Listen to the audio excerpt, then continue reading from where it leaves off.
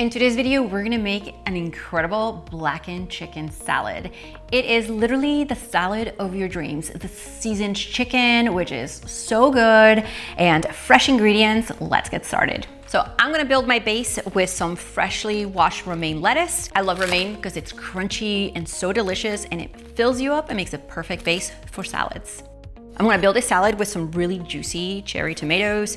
They're actually grape tomatoes because they're oval, but I'm gonna slice them in half. You can also use your garden tomatoes, fresh tomatoes, for this salad. Now I love cheese on my salads and on this one I'm adding a bocconcini or like little mini mozzarella balls.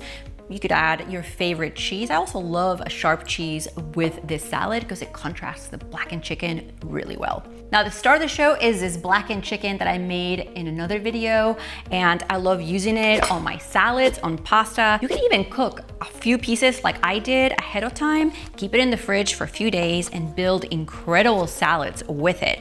Or other meals like my blackened chicken pasta. I'll link all of that below. I have an entire playlist and the seasoning is so good. I'm gonna add some avocado because I have an incredibly ready to eat avocado, which makes everything better and really delicious. It also fills you up. And what would tomato and mozzarella be without some fresh basil? So let's chop some of these and sprinkle it on top.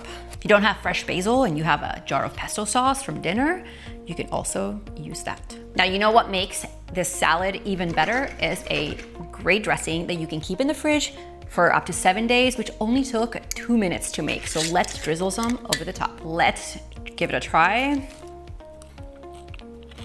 Hmm. This is literally the blackened chicken salad of your dreams. Grab the ingredients to make it, the dressing, and of course, the blackened chicken recipe are in the description box. And while you're there, hit that red subscribe button so you and I get to make epic meals every single week. See you next time.